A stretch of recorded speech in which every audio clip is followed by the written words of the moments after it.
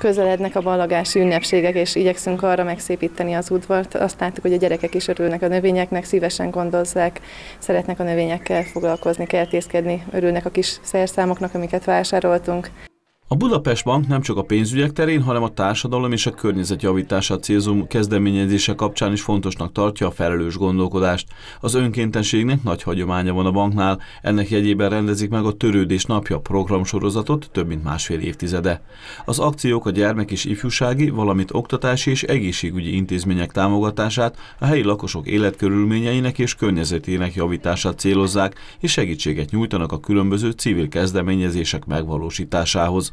A bank munkatársai által végzett kétkezi munkán túl a pénzintézet 100 ezer forinttal járul hozzá a munkálatokhoz. A Budapest Bank minden évben kétszer szervezi meg a Törődés Napja nevű önkéntes akciósorozatot, és helyi intézményeket keresünk meg, de elsősorban ott, ahol zöldítéssel, kert gondozással tudunk foglalkozni.